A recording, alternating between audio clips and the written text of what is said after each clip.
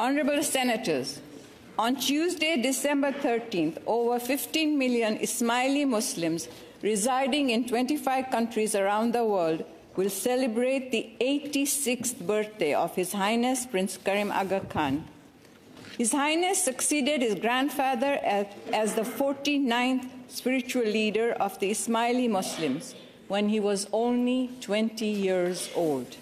For over six and a half decades, His Highness has made tremendous personal sacrifices to improve the lives of Ismaili Muslims and continues to work tirelessly to improve the quality of life of all people, especially those living in less developed regions of the world.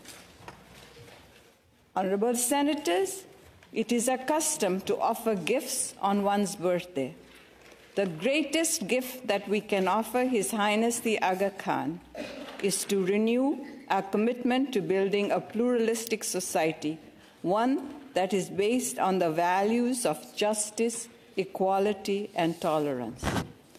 As senators, let us continue to work to improve the lives of those who are the most vulnerable in society.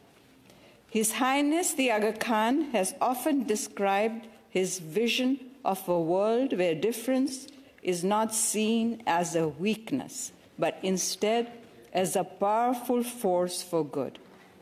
Honorable Senators, I want to live in that world.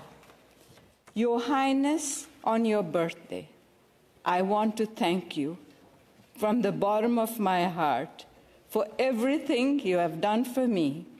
I'm a senator because of you, for my family, for the Ismaili community, and for the people around the world.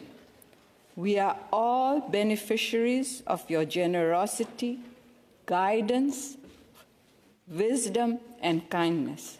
Salgirah Mubarak.